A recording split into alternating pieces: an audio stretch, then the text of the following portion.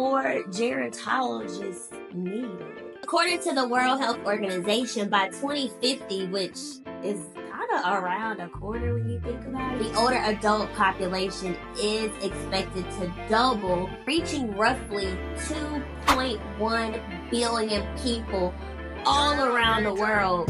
That's wild. Turn that up, game time. Real homies. Real homies. Real homies wanna know. Real homies want to know. Real homies wanna know. Real homies want to know. What's up, homie? Welcome back to another episode of Real Homies Want to Know. If you're new here, my name is Christina, creator of Gero. What?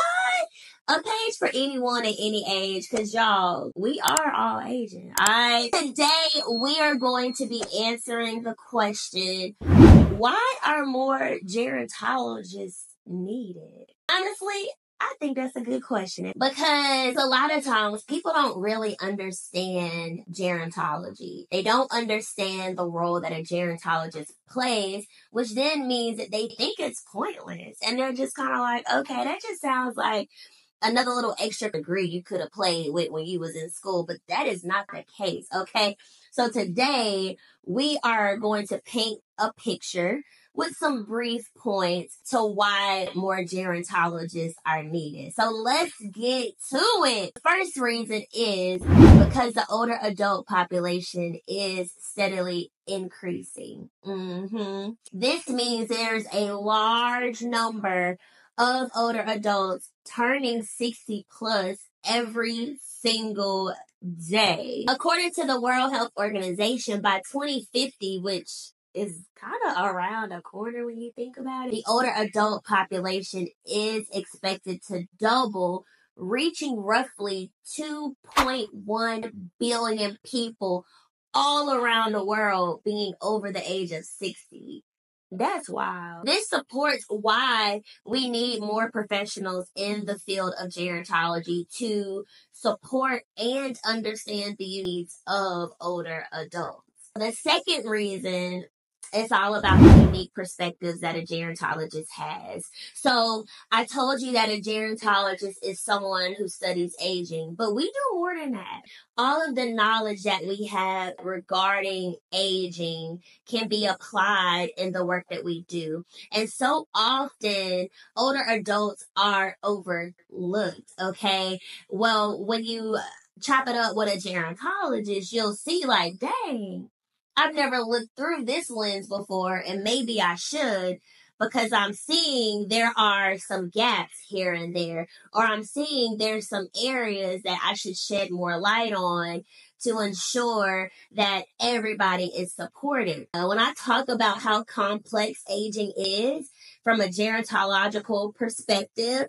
And I talk about all the different intersections that come up as it relates to getting older, our race, our age, our gender, all the things. And when I share that all of that influences how people age, it influences how people interact with us.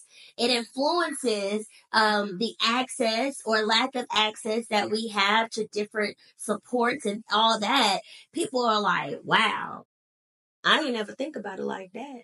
So you see, the gerontological perspective is hella unique. Okay. And then the third reason is the promotion of age inclusion, which a lot of gerontologists work to ensure older adults are included in all aspects of society. I love talking about intergenerational connections. And as a gerontologist and many gerontologists all over, that's also an area of focus. When we think about how beautiful it is to connect with someone, but taking it a step further and connecting with someone who may be of a different generation, different experiences and lessons and all of the things, and you team it up with someone else you can see that a lot of the assumptions we once had, the misunderstandings, the communication barriers, you start to see all of those things go away. There's a program of a group of people who are different ages coming together, sharing their slang. You know, now you know when it comes to slang, it can be challenging to know what a person is talking about. Well, in this space, you get to share common words that you use in your vocabulary and what they mean. And that makes a world of difference because now it's like, that's what it means when you say, oh yeah, she ate. Understanding the meaning behind words that people use really does break communication barriers. I feel like that is also a way to promote inclusion. Everybody wants to be included, whether they admit it or not. But a lot of times when we don't understand the things that come with a person, it's hard to connect. So one of the ways that gerontologists promote age inclusion is by educating people about the aging process.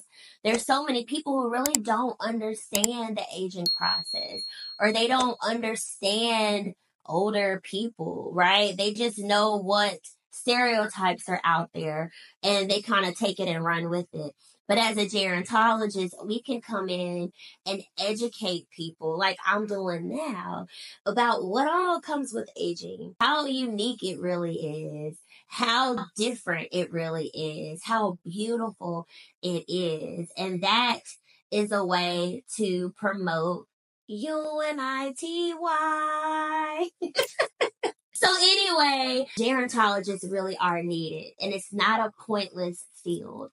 It's an area where more focus and emphasis should be placed on because again, we are all aging, meaning we are all getting older and hopefully, prayerfully, we will reach age 60 or 70 or 80.